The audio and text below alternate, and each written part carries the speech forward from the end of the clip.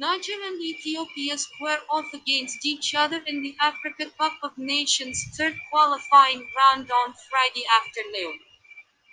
Niger are stuck at the bottom of the table, with the team experiencing all sorts of problems at the back in a 6-2 loss to Madagascar. The Menas are desperate to give fans something to cheer about, and we are positive that they will fight tooth and nail against Ethiopia. Wubetu Abate's troops, on the other hand, did remarkably well to claim a major scalp in their second group game, with the team beating star-studded Ivory Coast at home. Ethiopia aim to move one step closer to securing qualification for the AFCON finals, and we predict that they are going to take advantage of Niger's shaky defense. The game will be played behind closed doors due to the fears of coronavirus spread. Prediction 0 1.